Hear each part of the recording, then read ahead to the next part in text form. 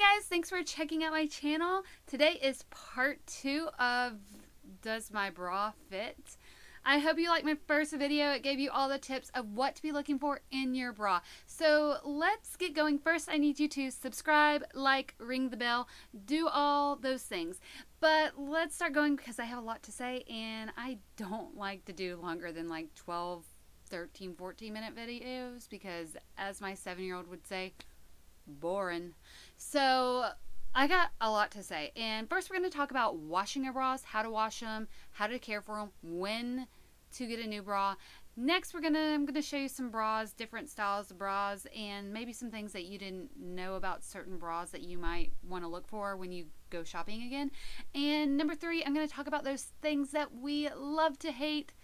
The straps. No one understands them, no one likes them, but there's a solution, and we've kind of already talked about it, but you may not realize. So let's get into it. Here we go. For the 10th time that I have said, let's get into it. So, washing your bras. I'm going to make this short and sweet. Do not use fabric softener. It's the devil. Don't do it. It's not good for you. It's going to leave stains on your bras. Just don't do it. Do not use fabric softener. Okay? There we go. Number two, use a light detergent when you wash them. I use like an allergy free, but I do that anyway because I have allergies. Uh, the other thing, you can wash your bras on delicate, on cold. Do not dry your bras. Hang them. After you wash them, hang them. What should you wash your bras in? It is a bra bag, a delicates bag, whatever you want to call it. I got it from Walmart. It was like three to four dollars, and there's a Tide logo. You're welcome, because I'm sure everyone's gonna go buy one now. Mm.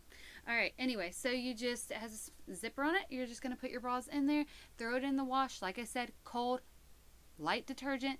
Do not use fabric softener. Just don't. You're throwing your bras away at that point. They get detergent stuck in them. It's so gross. I cannot even tell you. Just don't do it.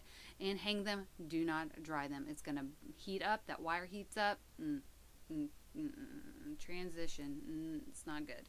Um, so with that said, you can literally get one of these at the dollar store. Maybe not the one with the fancy little beautiful Tide logo on it, but you can get these at the dollar store, so look there. And if you're too cheap to go to the dollar store, then lucky you, I have another solution. If you look in your linen closet and you have what I have here, this is called a pillowcase. You're going to put your bras in there, and I usually fold it over a couple times just because I don't want them to get out. Main thing you're trying to protect is those straps from getting tied up in the wash. But it remember, put them on delicate. So, like I said, you can use a pillowcase. Put them in the pillowcase, fold it over a couple times, throw it in the wash. It does the same exact thing. So, how often should I wash my bras? I wash my bras every two weeks, if that, to be honest with you. But I alternate my bras. So when people ask me, you know, how can my bras last longer? Or how often should I buy them?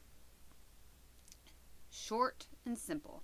I buy two bras every six months or four bras a year, and I alternate. I usually do two bras every six months because, like, if I gain some weight and I fluctuate or whatever.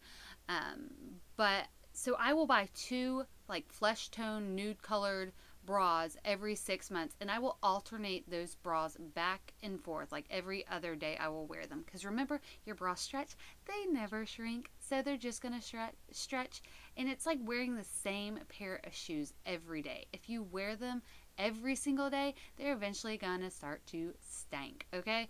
And that's the same thing with your bras. I no, it's like, you know, everyone poops. Well, everyone has boob sweat. I hate to tell you. You might have really small boobs and think that you don't have it. It gets hot enough, you're going to have boob sweat, and that gets into your bras. It's gross. So alternate them so you're not sweating as much in them. They're having time to air out, and then wash them like every two weeks. Now, what bra should I buy? Should I buy like a black? No, don't even buy black. It's pretty much a waste of time. Just buy something that's going to be close to your skin tone because people say, well, what if I'm wearing a black garment? You, if it matches your skin tone, it's not going to show through because I'm not I'm not worried about my stomach showing through. So if you have a flesh tone bra, you're probably not going to be worried about it being seen through. And only thing that a darker or a bright colored bra is going to do is show through a white shirt. And it's just another thing that you're going to have to dig through. Just neutrals. Neutrals, whatever matches your flesh tone. That's what I'm encouraging. Don't waste your money on colors unless you're just trying to get them for cheap and then you buy them on the sale rack like me. Hence why let's get into the next thing my bras. And I normally would be like, oh, this is gross. I'm showing you my bras. But I literally had like $300 in gratis from Wacoal. And I have some nicer Natori bras. Basically, I got these for pretty cheap. And I'm going to show them to you because they're in great condition. So let's get into it. The first one I want to show you. So this is a really cool bra. I can't even wear this bra anymore because it's honestly too small. It is a bralette. Now, the main reason I want to show you this bra, and it's important. If you look here, if you can see, you see, you see, it's so cute. It's a J snap. And so what a J snap does, it is a magical creation. Whoever did this, I mean, I feel like they should win like a major award because this is seriously the coolest thing. And maybe I'm just like too excited about it. It is now a racer back because I just took that J-snap and I snapped it to the other part of the bra and now we have a racer back bra.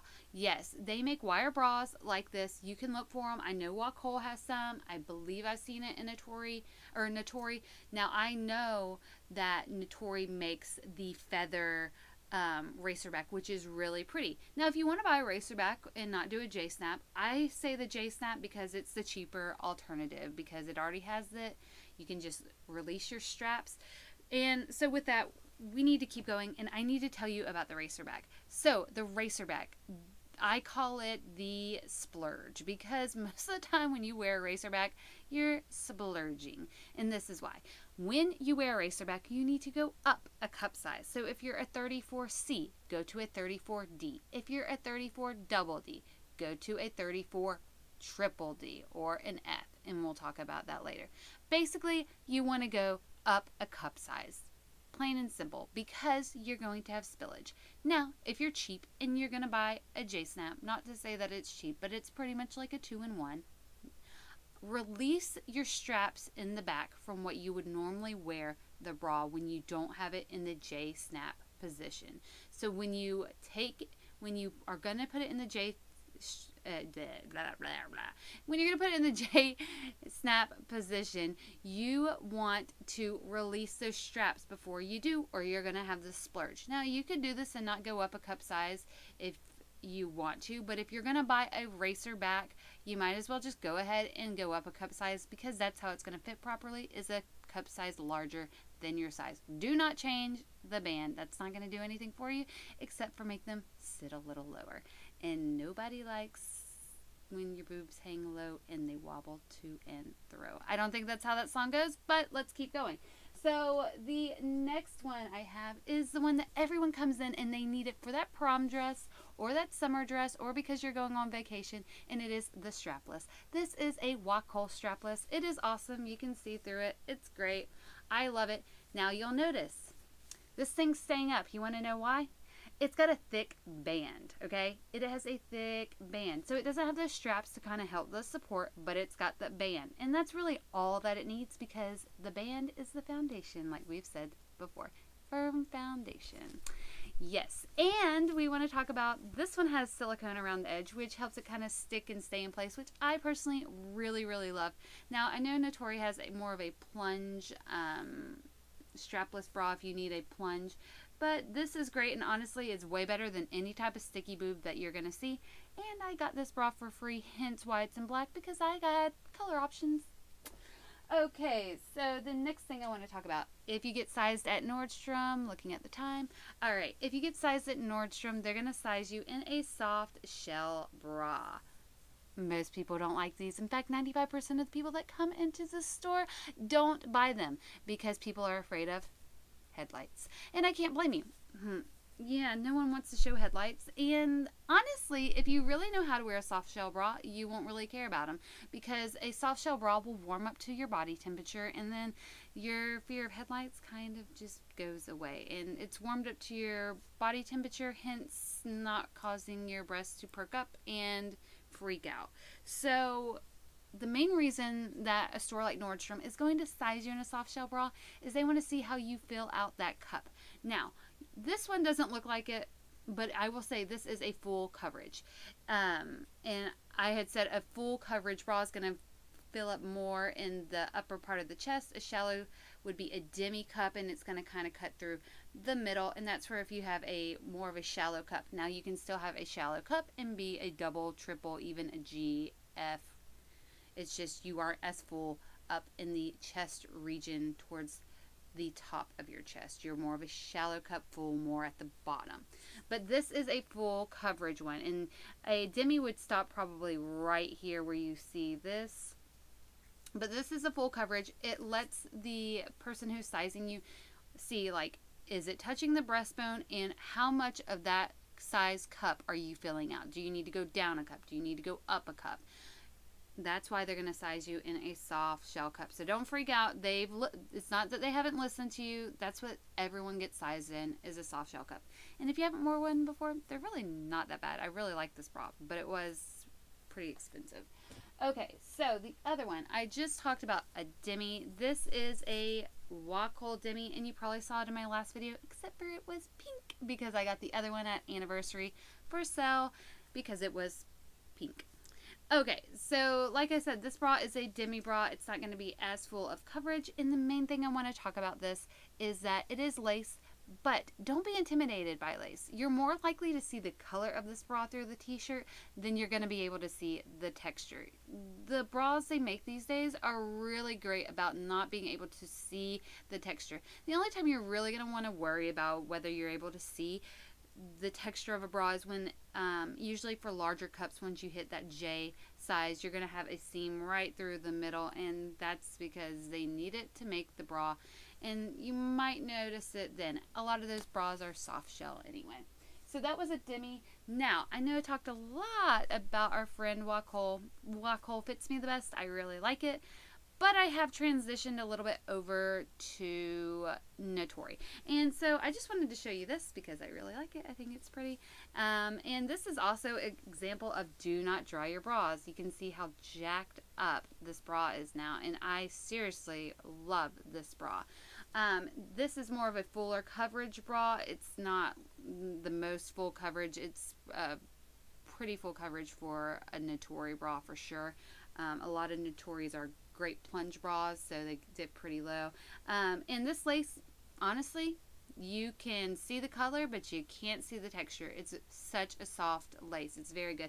I love Natori bras, and here's another one of their classic t-shirt bras. Um, they are super, super soft. They're just soft, soft bras. Um, and they have great t-shirt bras. This is like my go-to right now. I live in Texas. It's so hot, but this I feel consistently pretty cool in. So speaking of Texas and it being hot and me trying to roll through this, we're going to talk about this bra that you may have never heard of. It's a spacer bra. Now I know you can't see, but if you were here with me, you would be able to see in the light that this is a special type of foam that you can see through. This is a spacer bra, so it allows air to come in the bra and out of the bra and move, and it's great. No boob sweat. You'll probably still have boob sweat, but probably a lot less. I love a spacer bra. I know Chantelle makes one, or Chantelle makes one. Uh, Wacoal. You just want to look and kind of hold it up to the light. Can you see through it? It'll kind of make like um a check kind of pattern is what I noticed with the spacer bras, but I love them. They're great. This is another part of the Halo line from Wacoal, and you'll see that it tapers in. These straps taper in a little bit, which is great for people that feel like they want their bras in a little bit, but not quite as much of like a racer back, just a little bit of a tapering in. And it's a great bra. I like it. I love a spacer bra. So um, you can always ask when you go to get sized, do you have a spacer bra? Or look, like I said, for that checkered pattern up in the light. Now, this is a strapless bra, or not strapless bra. There's straps right here. This is a wireless bra. A lot of people, like I said, don't like to wear wires, and that is because they cut into you. Remember, if you're wearing the right size cup, scoop and swoop and place in, they won't cut into you. I wore a wireless because I was lazy when I was pregnant and just did not care if they hung low or whatever because it didn't really matter.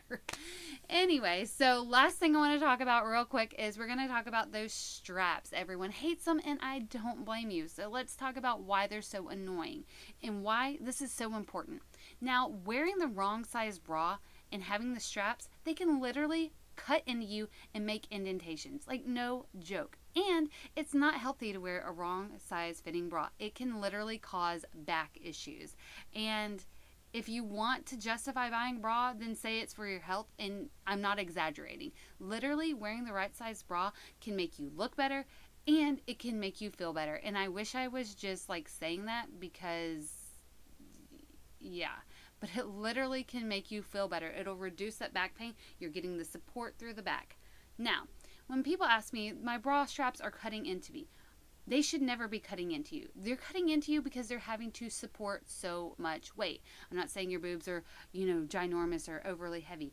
But if you are wearing the right size band, remember I said firm foundation, then your straps aren't having to do as much work because it's kind of equal balancing act. But honestly, that band should be doing more work than anything else. So if your bands are cutting, if your straps are cutting into you, then it might be that you're wearing the wrong size band. And that's 90% of the time the issue. Get the band resized. It doesn't matter if you think you're the right size. Really check into that band because you want it to be doing most of the lifting and the support. And if you have a good band, you aren't going to need the straps to do that much weight. Really, the straps are there to kind of bring everything back, I would say. And they're really, you don't they're not there to hoist you up. That's the biggest mo- misconception. You're there to get the slack. Everyone has a little bit different shape, like I said, fuller cup, shallow cup.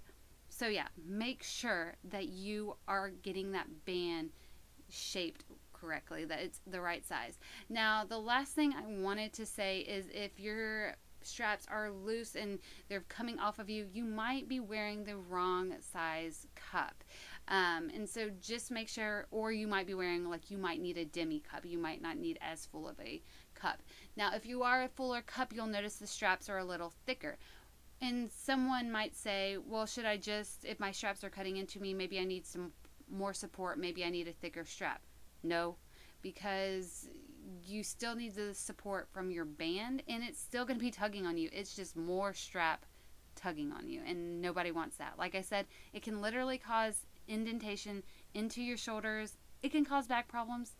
Just make sure you have the right size band and that even if it's maybe a little bit more snug than you're used to, it's going to stretch. It's not going to shrink. So just keep that in mind. Thank you so much for checking out this video. Sorry if it was boring, as my four-year-old would say.